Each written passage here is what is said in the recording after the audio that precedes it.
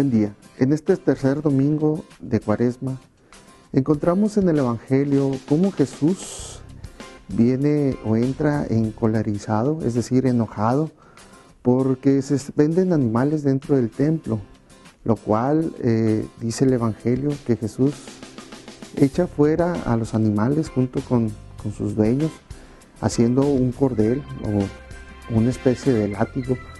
Igualmente avienta eh, o voltea las mesas de los cambistas y Jesús entra en cólera, realmente se enoja y al, al querer explicar qué es lo que pasó cuando le preguntan los, la gente del templo que por qué él lo ha hecho, Jesús contesta que el templo de su Padre es un templo de oración, no es un lugar de mercado, de comercio, donde se comercializa con todo, apartando así el significado real del templo en cuanto a que es un lugar de oración, un encuentro precisamente con ese Dios amoroso.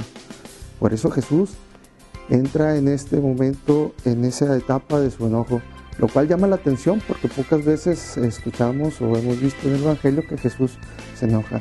Sin embargo, eh, me hace pensar que hoy en día, ¿cómo sería la actitud de Jesús para con nosotros? Es decir, ¿cuál sería nuestra actitud al asistir a los templos? ¿En verdad vamos a escuchar la palabra de Dios? ¿En verdad vamos a tener un encuentro con el Señor vivo y resucitado? ¿O simplemente es un lugar de reunión? Un lugar donde podemos decir que es el centro social fulanito de tal, según el templo o la parroquia donde se asista.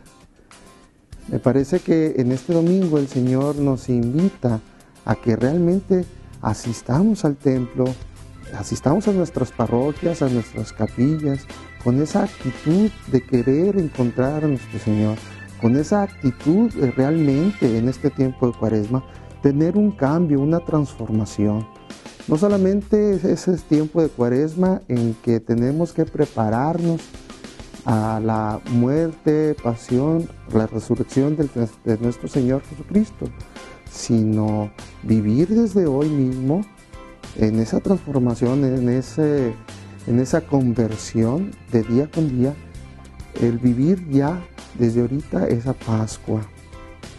El Señor Jesús nos invita a que vayamos transformando nuestras vidas para que así cuando Él muera en la cruz, muramos nosotros con Él al pecado y resucitemos para que seamos también como Él templos nuevos. O también así podemos decirlo piedras vivas de ese templo nuevo que nuestro Señor Jesucristo ha traído, donde todos somos parte de, ese, de esa construcción pero la cabeza de este templo será nuestro Señor Jesucristo.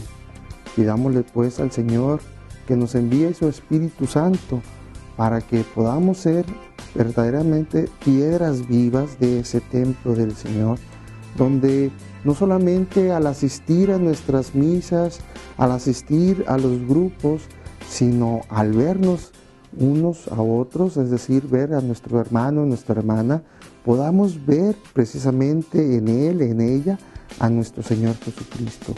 Pidámosle pues al Señor que nos bendiga y que en este tiempo de cuaresma sea un tiempo de transformación, un tiempo de conversión hacia esos templos vivos que el Señor quiere que sea.